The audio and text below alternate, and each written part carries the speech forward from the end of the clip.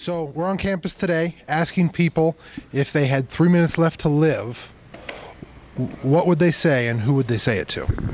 I'd probably have to be talking to my mom because of just really what what she has had to do in my life, and so I would tell her how much I loved her and cared, and uh, thanked her for just the amazing blessing that she has been and instrumental in my uh, my life and my walk with the Lord. Flip, flipping this around real quick, if we could. Um, let's say that I had th- three minutes left to live, and you knew it. Um, what would you say to me? Um, I would briefly see if I could get out of you whether or not you believed in Christ and where you're going, just to, Okay. just to ensure you're you're s- you're s- you're saved. I guess making sure you were saved. Uh, I, I mean, what, what would you literally say though? I mean, what, what questions would you ask? What would you, what would you want to know? Do you believe that Jesus Christ is your uh, Savior, and uh, that He died on the cross for your sins? Also, I would ask um, whether or not you thought that your life was meaningful or impactful on others. What, what if I said that, that I didn't believe in Jesus and I didn't think my life was very meaningful?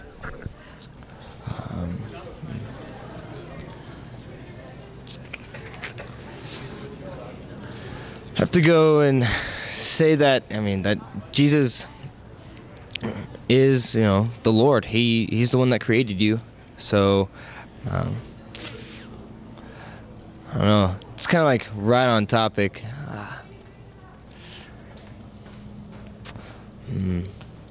Now, I mean, so if I've got two and a half, two minutes left, you, I mean, I don't believe in Jesus. My life isn't meaningful. I mean, what what can you say to me in the next two minutes that might make a difference? Well, your life has you know hasn't gone unnoticed. God really understands who, who you are and where uh, where you come from. There's nothing that He doesn't know about you. That uh, uh, these few last minutes of your life are completely um, going to be used for the best possible. So it's it's up to you whether or not that you will ask the Lord into your life. Um, he's you know the most amazing person I've ever been able to have a relationship with. It's Minute left isn't a lot of a relationship now, is it? Not entirely, no. But I mean, it's up to the Lord. He's the one who judges. So, so if God's going to judge me, what is He going to judge me on? He's going to judge you whether or not you believe in Jesus or Him. That's that's it. That's all He's judging me on. So if I just say, "Hey, yeah, Jesus was a real person, a couple thousand years ago," I'm good. No, it's it's the higher higher aspect of it. You have to uh, believe in your heart and confess with your mouth that Jesus is the Lord over your life. And and if I don't, what's He going to do to me? Well, uh, in the time we have, I can't really go into that. But Does that seem like a problem to you? to me personally, I mean, I, I who am I to say yes or no? Well, I mean, does it? I mean, just does it concern you maybe that, you know, if you knew, you know, one one of the kids you work with, let's say Mark, uh, maybe with Young Life, just got hit by a train, as as a friend of mine did when when I was in high school. You know that in those last few moments, maybe you don't know where he's going, and neither does he, and there's nothing you can do about it. Well, I don't think that there's nothing I can do. There's always prayer. You know, the Lord does know. So, I mean, the instrumental um, pivot might be, you know, those last few seconds in his mind. Okay, Mark, what? It, where does the gospel come into all this? Expand upon that real quick. Well, I, I mean, the gospel is the good news of Jesus. Um, where where does that come into this whole whole situation? I mean, I mean, do, does it even enter into the conversation if you only have three minutes left? Uh, well, it can or and it cannot. It just depends on whether or not um, the person. Oh, I lost train of thought. I had. Uh, hmm. Let's say it one more time. You know, how, how does the, the how does the gospel enter in maybe in that conversation in those last three minutes of someone's life, if you knew that they weren't a Christian, I mean, you knew it. They told you, hey, I don't believe in Jesus, but I don't know why I need to believe in Jesus, you know, any more than I know why I need to believe in Allah or Buddha. You know, what, what makes Jesus different? And, and can you even answer that question for us, maybe? Hmm. I mean, I have it in the back of my mind, but it's very difficult to just say, you know. Yeah, Yeah, I mean, I, I've been there. So I don't have an answer right now. No. Okay. So, you know, Mark, one one of the things that we we often tell people is is the gospel that you were raised on and that you believe is the gospel you preach when you're under pressure. Does that make sense? Yes, yes, it does. So, do do you know where the Bible defines the gospel? I mean, I assume you read your Bible on a regular basis.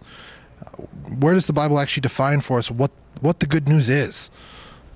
Um, The end of Matthew, I believe. I think in the the uh, what is it called? The The Great Commission. that's it. So, so the Great Commission is one thing, but the Gospel's totally different from the Great Commission. So, so the Gospel we find it in 1 Corinthians 15, right? That Jesus, right, bore our sins in His body, right, died, was crucified, and brought back to life three days later, defeating sin, death, the devil. Is that something you've heard before? Yes. Okay. Does that message is that would you call the core of Christianity or would you say the core of Christianity is more about a meaningful life, having a productive family maybe? I mean, what is the core of Christianity? It's not constrained to this world. We are not of this world, but in this world, as Jesus had called us to be. So, us having a meaningful life, we're just His instruments that He uses here on earth to spread that gospel, like you're saying. So, just a hard question for you, and I've and I and I'm I hesitate to ask you, but I will. Given that you didn't even know where it was, and and you're leading in young life, that sort of a thing, do you really think you're being a f- even starting to spread that gospel to to the kids you work with, to to anyone on your campus? I, I mean, if if you couldn't tell tell a dying man, if you can't you know, tell us where it is. Are you really doing the Great Commission, which is to teach people the gospel and then call them to obey it? I think that's a good question that you can ask yourself every day, you know. But uh, personally, that that's that's good. Um, well, yeah, but at the same time, no, because uh, it's a daily struggle that I have to daily like, go against, you know, the constructs of society to actually put my faith out on the line and then tell people who Jesus is. Mainly, I do that through my actions. I like to do that structurally through my actions and through my um, lesser use of um, verbal. I don't know, just like profan. I never use profanity. So, so would you say, just just real quick, would you say that you you live the gospel out and people just see Jesus in you? Yes. Do you believe that man by nature is good or evil? By nature, good. Yes. By by nature, good. Yeah. Because Satan was the first sinner, correct? Yes. Through pride, and by pride he uh, brought in the first lies into the world. And God had made us perfect in a sense, correct? Whole with Him, having that complete relationship back and forth, face to face with God, right? And because of this, we are made good because everything that God makes is good. And sin, kind of defined, is taking um, things that God has made in ways and amounts that are not. Did you did you know that the Bible actually defines sin three three times for us? And I've heard of that, yes? do you could you tell us what any of those definitions are? None. So so I'm I'm gonna just run through them just just real quick, and I want to get back back to this other point about man.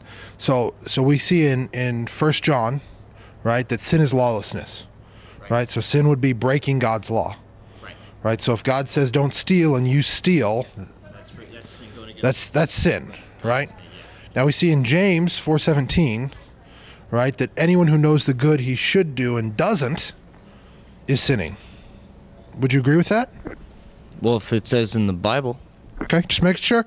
And then, and then we see at the end of Romans 14 that anything that isn't from faith is sin. Anything. give an example. I'd like. Sure, a great example. Let's say that you, you love Jesus, right? A- and a Buddhist are helping an old lady across the street. You're doing it because Jesus told you to love your neighbor, right? You, you see that you see that and you say, I want to love my neighbor because God, you know, was so kind and merciful and forgiving me that I want to be merciful to others, right? And the Buddhist says, well, the Buddha told me that this is the right thing to do. The Buddhist isn't acting in faith, right? Because the Buddhist doesn't believe in God. Yeah, he still is an actual. So even if he's doing something good, right? That's sin because he's not doing it via faith in Christ. Would you does that make sense? It does. So so let's get back to this issue of man, right? God made Adam and Eve and Adam and Eve sinned. Did Adam's sin affect the rest of mankind? I mean, maybe you've heard of this once before, original sin. Have you heard that term? Right? Did, did original sin affect you, me, Tony here, anyone? Yes, that's why we're here right now. So, so if original sin affected us, are we still are we still born good or are we born not good because of Adam's sin? We are born into sin. So with that, then we like you don't teach your your son or daughter to take a toy from another and bash them on the head, do you? You No, have to teach- I don't. Exactly. You have to teach them that that is incorrect. So, so are they born then good or are they then born bad? If you don't have to teach them to do bad things, but you have to teach them to do good things. I, I have a three year old and an 18 month old. I never taught my three year old to lie. I never taught my three year old to push his brother down. He did that all on his own. Would you say that that's the mark of a good person or the mark of a bad person? Mark of a bad person with very uh, little knowledge. Or So I, I would agree with you. I would agree with you that, that it's a bad person. So could we say maybe that, that all people are born bad? Uh, for the sake of the argument, argument or just personal. For you? For me? I mean, just after hearing that brief two second after hearing that brief two second analogy, would you feel comfortable saying, "Yeah, people maybe are born bad"? I could. Good. If I if I said that that Romans chapter three, starting in verse eleven, says that there's no one who does good, no, not one. No one seeks for God. Right. I remember that. You remember that? Okay. If that's true, is anyone born good knowing that faith is anything or sin is anything that doesn't come from faith? Yes. So people could be born good. No. Okay. So men then if they're not born good, they're born evil? Bad. Okay. So so we've just gone from men being born good to now men are born bad. After the first initial sin, as you said, yes. After the first initial sin, when when do we start sinning? As Satan has come into our lives and caused us and t- caused us to enter into sin by tricking us into eating, eh, tricking Adam, I should say, because that is what happened. So so when a baby takes his first breath, very first breath. I've watched both of my children be born. It's a beautiful thing. When my sons took their first breath, they did not take that breath via faith in Christ. Would that first moment of life then be possible to be defined as sin as you would see it? No. No. So if sin is defined as anything that doesn't come from faith, and they don't take their first breath via faith in Christ, They're too young to understand. Does understanding really matter? Not entirely, no. So if it if it doesn't matter, Paul Paul didn't say, "Hey, anything that doesn't come from faith is sin unless you don't understand what you're doing." Right? He said anything that doesn't come from faith, whether you understand it or not. So is it possible? I mean, just possible that that first breath somebody takes is sin? I guess it could be possible. Yes. Okay, so so if men are born bad, right? They they're as Ephesians say says children of their you know children of the devil, right? They're they're at, eh, in enmity with God. They're at war with God. They hate God in their heart. And I, and I would argue that that we can see that given their first breath is sin, that that that's from birth. They're born bad, not good. Right? That means that as we look around here at, at the people walking around campus, we could pretty much as Christians with confidence say, unless they've put their faith in Jesus Christ and repented of their sin, we have a bunch of evil people walking around us. Would you be comfortable saying that? Yes. Okay. Knowing that, and let's let's go back to this three minutes to live situation. If you knew that that man that you saw dying, right? It, maybe it's me, maybe it's a friend, whatever the situation. If you you saw him dying, you know he's evil. You know in his heart he hates God. You, you said before your first question was, did you feel like your life was meaningful? Right? Where does that enter into it now? Hmm.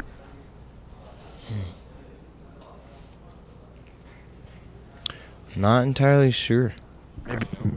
Is it possible that it doesn't enter it in, enter into it anymore? Uh-uh. That- Because then, um, all life would be rendered useless, me- un- like not meaningful without Christ. You know. So I, mean, I would say all, all life without Christ is meaningless. That our only meaning comes from God. Yeah. Okay, so so I have three minutes to live. If if you the the heart of the Christian message is the gospel, right? I, I mean, you would agree with that. Yes. Okay. Would you, What again? The death, burial, and resurrection of Christ, right? According to the scriptures, we could even we could even go a little bit further there in 1 Corinthians 15 and say it's the appearance of Christ as a resurrected man appearing to the disciples and then to 500 brothers at one time, and we could we could expand that out and say the gospel is that message. What what would you just just before we get into this this last little bit here? What would you say Jesus did on the cross? He bore all of our sins, everybody past, present, and future, on the cross, and as he died, he be- he became the sacrifice for all of our sins. Okay, so so he made a way in, a, in, in essence for uh, for men to be reconciled to God. Right. If you knew someone had three minutes to live and they hadn't been reconciled to God, wouldn't you say it's reasonable or, or even loving to tell them, hey, you have to be reconciled to God? Because if you don't, if they and, and maybe you don't say this, but you know, if they don't, it's going to be bad. Yeah. And you and and you don't want that. Right. That's completely bad. We don't want no. Okay, so let's look let's look out here again. There's not as many people walking around, but if those guys over there um, aren't reconciled to Christ, we don't know when they're going to die. You know, a person dies every two seconds around the world. They, they could be due in five minutes. One could just drop dead right now. Would it be the most loving thing for you to go talk to them and say, "Hey, here's how you can be reconciled to God," because you don't know when they're going to die? Yeah, that would be. So, how often would you say right now you're doing that? Normally, I, I, I earn the right to be heard first. Okay, so if Jesus told you, go into all the world, mm-hmm. make disciples, teach them to obey all that I commanded them, baptizing them in my name, do you need to earn the right, or has your king commanded you to do that? He's commanded me, but it's they. I mean, people are more generally going to listen to somebody that they uh, have given the respect to listen to. Okay. Does that in the three in that three minutes to live situation? Just go. They Just may be looking for the for the way out. You know. That, absolutely. so I mean, that's probably their last bet. They don't know whether or not it'll be true or not, but through that, their faith may show that they will enter in the kingdom. Okay, so let's let's go back to, to what you said earlier that you try to not use so many words, but to, to let people see your life and to see Jesus through that. mainly because I don't have like the infinite amount of time to stop exactly what I'm doing all of the time to talk to everybody. Do you have time some of the time? Yes. Okay. So so if if man is evil, right? We're going back to this now. Right? He doesn't love God, he hates God. Right? Now First Corinthians also tells us that that the natural man doesn't discern spiritual things. Are you familiar with that verse? Yeah. That section? They have to be. Um, they basically have to enter into into spiritual oneness with Christ to be able to understand them. Yeah, God has to illuminate them. So so if you're walking around campus here, right, and you're living Jesus and Jesus is in you and and Tony and I see that and, and we're Christians and we say, Man, we really we really see Jesus in Mark right now. Will the man who's evil, hates God, maybe is and most likely is suppressing the truth of God and in righteousness in his heart and is spiritually blind, be able to see Jesus living in you, knowing what First Corinthians says that they cannot discern spiritual things. No, he can't. But he will see a happier person. Okay. You may normally see. Okay, so if if he can't see Jesus in you and you're not using words to tell him about Jesus, and we agree that if they die, it's going to be bad. It, Through outside action, I guess he would from the from the outside in, looking in, would think what what's so different about this person? And that may spark him to ask me, but I, I don't know. That shouldn't be uh, the only way. I mean, I could just so easily just talk to him. do you th- do you think, knowing the Great Commission, that Jesus is really calling us to to live in such a way that people will just ask us, or do you think that it's more Jesus is commanding us to tell people as we go about? So as you're walking around campus, maybe your job is, is to hand just a gospel tract to somebody, right? I would say the latter. Yeah. Okay. So, I mean, it sounds like a, a kind of a big switch from where we started. Mm-hmm. W- would you agree? Very big. Okay. So, so just just a couple of last points here. Where do you see the what what's the purpose of God's law? Right? You, you- I mean, you've read the Old Testament. You know God gave a law to Israel, right? And that that there's 10 commandments. Yeah. What's Testament, correct? Yes, yes. What's Jesus come to change, not necessarily change, but to um, can't find the right word. fulfill? Yes, fulfill the law. At the same time, he's you know changing everybody's sight and like the the way society was at the time because of the Pharisees. He's just completely turning the world upside down with from that law. Yeah, and so so Jesus has right like there's this law and everybody has it, right? And and Paul tells us in, in Romans that that specifically chapter 7 that if it weren't for the law he wouldn't know what sin was. Right? That the law brings knowledge of sin. Right? So so law maybe maybe we could say it this way. Law allows the wicked man to God's law. to, to see to see sin right and wrong Yeah. okay so when you're when you're letting someone see your life are they seeing god's law which tells them they don't measure up to god's standard But I don't even measure up to God's standard. none of us do that's the point that's why we need a Savior. savior because he needs to save us from our Sins. Because exactly because we are separated from God. We we have earned hell, so to speak. We've earned death because of our sin. Right. So so if we're going up to people and we're just saying, hey, you know, Jesus Jesus can be your Lord and be your be your Savior. Do you think that the natural man, again, who's spiritually blind, really understands or, or even sees why he needs a savior without having that, that mirror? Mar- remember Martin Luther, Protestant Reformation? Okay, he said that the law was a mirror, a curb, and a guide. Okay, a mirror, a curb, and a guide. He, he, you know, the law can be put up here, right? If we were to say, okay, the law says, uh, "Thou shalt not steal." Have you ever stolen?